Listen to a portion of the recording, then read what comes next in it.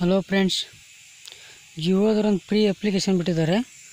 Jio sim ಯಾರ್ಯಾರ ಕಡೆ ಇದೆ ಅವರೆಲ್ಲ ಯೂಸ್ ಮಾಡ್ಬೋದು.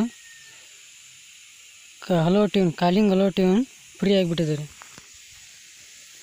ಅದನ್ನು ಯೂಸ್ ಮಾಡೋದು ಹೇಗೆ ಅಂತ ನಾನು ತೋರಿಸ್ಕೊಡ್ತೀನಿ. ಬನ್ನಿ.